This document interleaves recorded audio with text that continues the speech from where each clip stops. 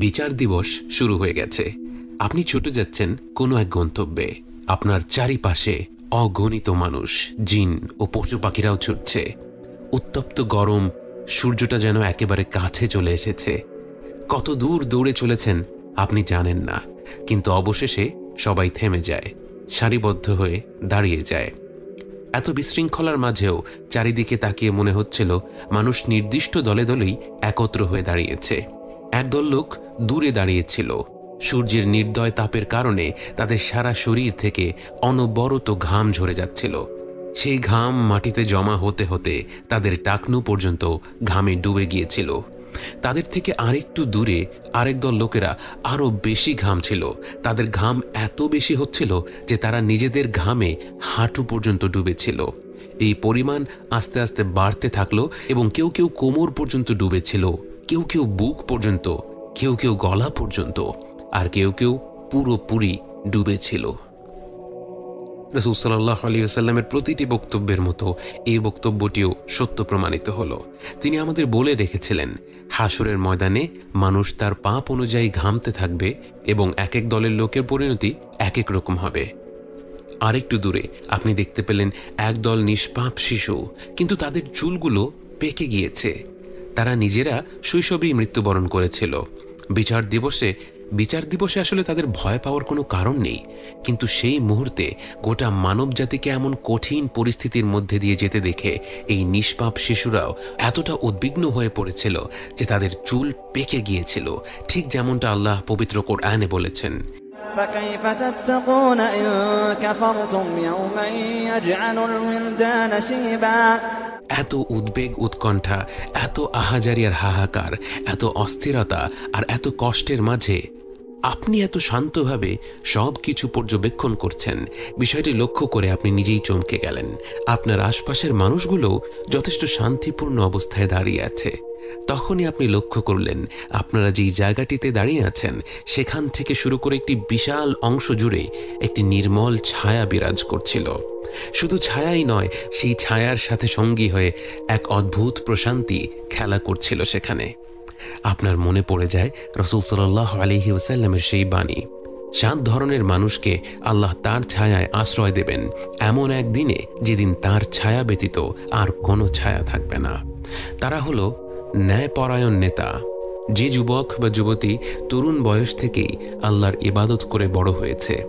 যে ব্যক্তির হৃদয় মসজিদের সাথে সম্পৃক্ত, যে দুজন ব্যক্তি শুধুমাত্র আল্লাহর ওয়াস্তে একে অপরকে ভালোবাসে দেখা করে এবং বিদায় নেয়। যে ব্যক্তিকে সমাজের একজন প্রতিষ্ঠিত নারী জেনার আমন্ত্রণ জানায়, কিন্তু সে সেটা প্রত্যাখ্যান করে। যে ব্যক্তি দান করার সময় তা এমনভাবে গোপন করে যে তার বাঁ হাত জানে না ডান হাত কি দান করেছে। এবং যে ব্যক্তি গোপনে আল্লাহর কথা স্মরণ করে এবং তার চোখ ভিজে যায়। এর বাইরেও আল্লাহ রসুল সাল্লাহ আলী আসাল্লাম বিভিন্ন মানুষের কথা বলেছিলেন, যারা তাদের ভালো কাজগুলোর জন্য কেয়ামতের দিন আল্লাহর আরশের ছায়ায় জায়গা পাবে।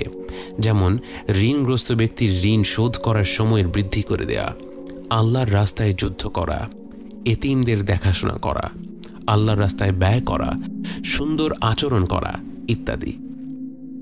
আপনি জানেন না কোন ভালো কাজগুলোর জন্য আজকে আপনি আল্লাহর আরশের ছায়ায় স্থান পেয়েছেন। কিন্তু আপনি আশ্চর্য হয়ে দেখছেন কীভাবে একই হাসরের ময়দানে ভিন্ন ভিন্ন মানুষের কত ভিন্ন ভিন্ন অভিজ্ঞতা। কয়েক দল লোকের চেহারা দেখে মনে হচ্ছে তারা বছরের পর বছর ধরে এই হাসরের ময়দানে দাঁড়িয়ে আছে। শরীর থেকে ঘাম ঝরছে, তৃষ্ণার ছাপ চোখে মুখে ছেয়ে আছে। অন্যদিকে যারা আল্লাহর আরশের ছায়ায় দাঁড়িয়ে আছে তাদের দেখে মনে হচ্ছে তাদেরকে হয়তো কয়েক মুহূর্ত আগেই পুনরুজ্জীবিত করা হয়েছে আপনার মনে পড়ে যায় আল্লাহ তাআলা বলেন تعرج الملائكة والروح إليه في يوم في يوم كان مقداره خمسين ألف سنة অবিশ্বাসীদের জন্য সেই দিনটি মনে হবে পঞ্চাশ হাজার বছরের সমান কিন্তু সেই একই দিন আল্লাহর নিয়ামতপ্রাপ্ত বান্দাদের কাছে মনে হবে যেন লোহর এবং আসরের মাঝামাঝি সময়ের সমান। তবে বিশ্বাসী, অবিশ্বাসী, নির্বিশেষে সেদিন প্রতিটি সৃষ্টি কিছুটা উদ্বিগ্ন থাকবে। আল্লাহ তখনও তার বান্দাদের সাথে একটা কথাও বলেননি। তিনি নিশ্চয়ই রেগে আছেন। সবাই অপেক্ষা করছে। বিশ্বজগতের রব সব কিছুর স্রষ্টা, যিনি জীবনভর আমাদের সময় দিয়েছেন, আমাদের আহ্বান করে গেছেন, ভুল হলে ক্ষমা করে গেছেন, বারবার সুযোগ দিয়েছেন, আমরা যেন তার দিকে ফিরে যাই। তার সেই আহ্বান অগ্রাহ্য করেছে তার কত কোটি কোটি বান্দা। আজ তিনি নিশ্চয়ই ক্ষুব্ধ। তার চূড়ান্ত বিচারের জন্যে সবাই অপেক্ষা করছে, যারা নিজেদের কুকর্মের ঘামে ডুবে আছে আর যারা শান্তিময় ছায়ায় দাঁড়িয়ে আছে, সবাই অপেক্ষা করছে। কিন্তু আল্লাহ কোনো কথা বলছেন না। অপেক্ষা করতে করতে সবাই তৃষ্ণা অনুভব করতে শুরু করল। কিন্তু পানি কোথায়? যতদূর চোখ যায়, শুধু সমতল ভূমি।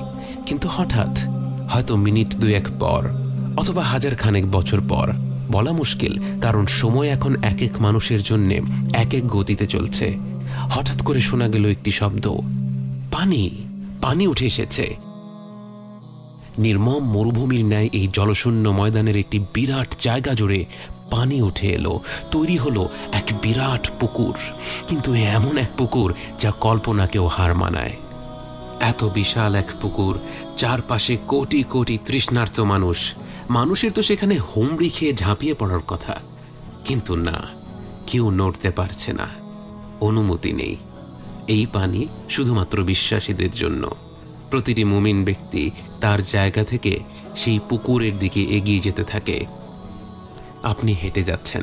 বাকি মুমিনদের মতো আপনার মুখ, আপনার হাত, আপনার পা অজু করার সময় যেই যেই অঙ্গগুলো জীবনভর ধুয়ে এসেছেন প্রতিটি অঙ্গ থেকে এক অলৌকিক নূর বের হচ্ছে।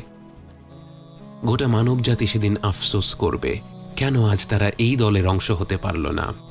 এই দলে রয়েছে সেই নিষ্পাপ পরিবার, যাদের ঘরবাড়ি গুঁড়ো করে দিয়েছিল জালেম নেতারা। সেই জালেম নেতা তখন দাঁড়িয়ে দেখছে, উজ্জ্বল সেই মুখগুলো হাস্যোজ্জ্বল ভঙ্গিতে এগিয়ে যাচ্ছে পুকুর পানে। এই দলেই রয়েছে আল্লাহর সেই বান্দা যে তরুণ বয়সে আল্লাহর বিধান মোতাবেক কাপড় পরিধান করায়, তার বন্ধু বান্ধব থেকে শুরু করে আত্মীয় স্বজন প্রতিনিয়ত খোঁটা মেরে মন্তব্য করত। বলতো, সে কেমন যেন অন্যরকম হয়ে গেছে। আজ সে আসলেই অন্যরকম। আজ সে হেঁটে চলছে সেই পুকুর পানে, আর বাকিরা অসহায়ভাবে তাকিয়ে দেখছে। অনেকটা পথ হেঁটে পুকুরটির দেখা মিলল। যেদিন প্রথম সমুদ্র দেখেছিলেন, মুগ্ধ হয়ে তাকিয়েছিলেন কয়েক মিনিট। যেদিন প্রথম নিস্তব্ধ পূর্ণিমার রাতে সাগর দেখেছিলেন, মুগ্ধ হয়ে তাকিয়েছিলেন ঘণ্টা খানেক আজ মনে হয় পঞ্চাশ হাজার বছর মুগ্ধ হয়ে কাটিয়ে দিতে পারবেন। পুকুরটিকে দেখেই যেন আপনার সব তৃষ্ণা মিটে গেল। হয়তো আপনি সেভাবেই দাঁড়িয়ে থাকতেন, হয়তো আর কোথাও যেতে চাইতেন না। কিন্তু এরপর আপনার চোখ চলে যায় পুকুর পাড়ে দাঁড়িয়ে থাকা ব্যক্তিটির দিকে। থেকে এত উজ্জ্বল নূর ছড়িয়ে পড়ছিল যে তাকে দেখাই কঠিন হয়ে যাচ্ছিল। কিন্তু আস্তে আস্তে আপনি তাকে দেখতে পেলেন। কাঁধ সমান ঢেউ খেলানো চুল, ঘন কালো দাড়ি, মুখে পৃথিবীর সবচেয়ে মনোমুগ্ধকর হাসি, সামনের দাঁত দুটোর মাঝে একটি ছোট্ট ফাঁক। আপনি তার দিকে তাকিয়ে আছেন এবং একটু পর বুঝতে পারলেন, তিনিও আপনারই দিকে তাকিয়ে আছেন। আপনাকে ডাকছেন। পরম আনন্দের এই মুহূর্তগুলো আপনি কাটাতে লাগলেন একটি ঘোরের মধ্যে। তিনি আপনাকে নিজ হাতে সেই পুকুর থেকে পানি তুলে দিলেন। আপনি সেই পানি পান করলেন। সেই পানি পান করা মাত্রই আপনি বুঝে গেলেন, আপনি আর কখনো তৃষ্ণা অনুভব করবেন না। কারণ সৃষ্টির শ্রেষ্ঠ মানুষ, আল্লাহর সবচেয়ে প্রিয় বান্দা, রসুল সাল্লাহ আলিহি ওসাল্লাম আপনাকে নিজ হাতে মহিমান্বিত হাউদে কাউসার থেকে পানি পান করিয়ে দিয়েছেন। আপনি আর কখনোই তৃষ্ণার্ত হবেন না।